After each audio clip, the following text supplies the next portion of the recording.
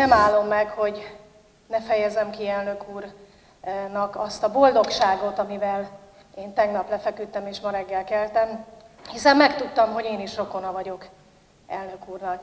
Kiindulva itt az elmúlt hónapok rokoni fejleményeiből, azaz, hogy az ön unokatestvérei a Pécsi sörfőzdem megvásárlása után milyen elképesztő jövedéki adókedvezményben részesülnek, hogy szintén az unokatestvérei, hát nevezzük mondjuk gagyi elemzések megírása után 200 milliós fizetségben részesültek, hogy a, a fia is ugye a bútorgyárhoz fél milliárd forintos uniós támogatást kapott, de most már ugye a kedves neje is, hát több alapítványból származóan jutott hozzá jövedelemhez, illetve még ugye havi 300 ezer forintos doktori ösztöndíjhoz is hozzájutott, plusz még ugye hát az MNB vezetői viszonylag kedvező THM mellett kaptak hiteleket. Hát mondjuk a, a 800, 8%-os THM helyett mondjuk 1,8-1,9%-os THM-mel kaptak ők banki hiteleket a sajtóhírek szerint. Szeretném most megkérdezni, most, hogy megtudtam, hogy én is rokona vagyok elnök úrnak, hogy vajon én is hozzájuthatnék-e ilyen kedvezményes hitelekhez mondjuk a jövőben, vagy esetleg, nem tudom, ezt a rokoni dolgot akkor kiterjeszthetnénk egy szélesebb körben, mondjuk több százezer bajba jutott magyar honfitársunk megsegítésére. 7,5 milliárd ember mindannyiunk rokona a Földön. Ha ön hisz abban, hogy mindannyian a teremtő teremtményei vagyunk.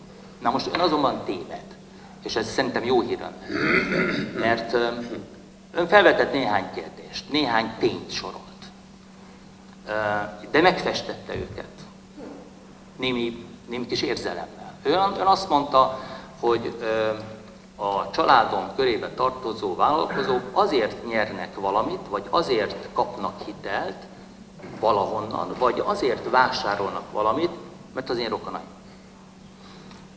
Hát nem így van.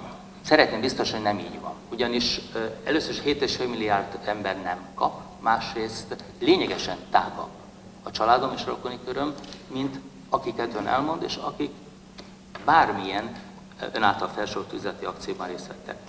Most túl azon, hogy senkit nem szabad megfosztani attól a lehetőségtől, hogy részt vegyen Magyarország felemelkedésében. A senkit nem lehet, nem szabad, nem javasolnám egyetlen képviselő asszonynak vagy úrnak sem, hogy törvényt kezdeményezzen, hogy bizonyos névben rendelkezők ne pályázhassanak Európai Uniós Vagy ne kapjanak bankhitelt. Vagy ne vehessenek egy külföldi tulajdonostól Magyarországon működő céget. Vagy például ne vehessenek sört iparba tartozó céget. Én ezt nem javasolnám. De szeretném elmondani, tehát képviselőasszony, hogy nem korlátoz senkit. És nem jutalmaz senkit.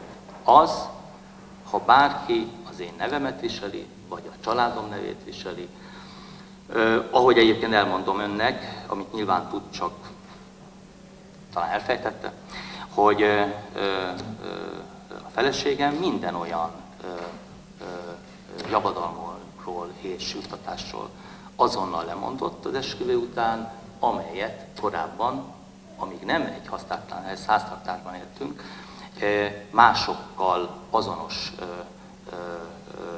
feladatok ellátásáért megkapott.